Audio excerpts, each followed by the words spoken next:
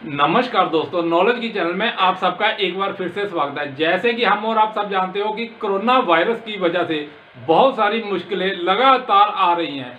जैसे कि बैंक में भी, बैंक तो वैसे खुले हैं, पर वहाँ पर जाना थोड़ा सा मुश्किल है। एक एक दो दो करके लोग वहाँ पर पहुँच सकते हैं, इकट्ठा नहीं जा सकते बैंक से कैश लेने के लिए।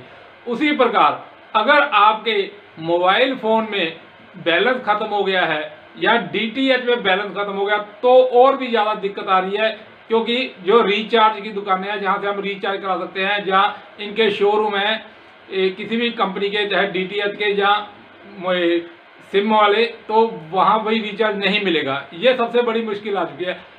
हर किसी के पास इंटरनेट बैंकिंग नहीं है कि वो अपना नेट से ही चार्ज कर ले, ये सबसे बड़ी मुश्किल आ रही है, और सरकार भी इसको बड़े ध्यान से देख रही है, और डीटीएच कंपनियाँ भी देख रही है इसको।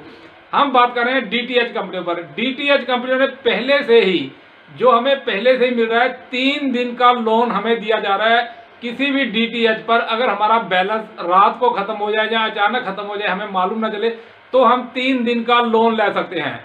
अब इसको सरकार भी बड़े गंभीरता से देख रही है और डीटीएच कंपनी देख रही है कि तीन दिन का अगर जो लोन दे रहे हैं, उसके बाद भी अगर पैसे ना हो किसी के डीटीएच में तो उसका डीटीएच बॉक्स बंद हो जाएगा। पर केबल टीवी पर यह प्रॉब्लम नहीं है। केबल टीवी वाले एक दो महीने रुक के भी पैसे ले सकते हैं, इकट्ठे पैसे ले सकते हैं, क्योंकि वो घर आकर या हमें देने जाने पड़ेंगे या वो घर आकर लेकर जाएँगे। पर डीटीएच कंपनियों पर हमें रिचार्ज कराना पड़ेगा तो ही चलेगा। ये सबसे बड़ी मुश्किल आ रही है। और इस पर यहाँ एक और समस्या है। अगर डीटीएच बंद हो जाए बॉक्स बंद हो जाए, मनोरंजन ना मिले घर पर तो लोग क्या करेंगे? घर पर बैठे तो रह नहीं सकते। अभी तो टीवी देख रहे हैं, घर पर बैठ के अपना मनोरंजन पूरा कर रहे हैं मोबाइल पर इंटरनेट इंटरनेट पर अपना टाइम पास कर रहे हैं। इसके बाद अगर ये खत्म हो जाए बैलेंस ना हो तो क्या करेंगे? लोग सड़कों पर जाएँगे, बाहर निकलेंगे। इसी को देखते हुए डीटीएच कंपनियाँ भी इस पर सोच विचार कर रही हैं और हमें कुछ राहत दे सकती है आने वाले टाइम में। अभी तो दो दिन हुए हैं, भारत बंद हुए में। ये कर्फ्यू जो लगाया गया, दो दिन का ही लगा, दो दिन ही हुए हैं इसको। आगे जाकर हमें एक दो दिन के बाद इसमें राहत मिल सकती है। हो सकता है, हो सकता हम फिर कह रहे हैं, ये कंफर्म नहीं है, पर हो सकता है डीटीएच कंपनियाँ इसको बढ़ा दें। इसको आगे जाकर 21 दिन या एक महीने तक ये लोन की अवधि बढ़ा दें कि अगर आपके डीटीएच बॉक्स में बैलेंस खत्म हो गया है तो आपको एक महीने का लोन दिया जाएगा। ऐसा हमें एक दो दिन में न्यूज़ आ सकती है कि सभी डीटीएच कंपनियाँ ये कर दे, क्योंकि इससे उनको भी बहुत नुकसान हो रहा है, क्योंकि बहुत सारे लोगों का अब रिचार्ज खत्म होगा।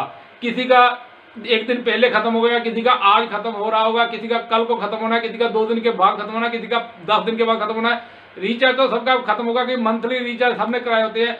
हर कोई इतना बड़ा तो होता नहीं, वो एक साल का इकट्ठा ही करा ले।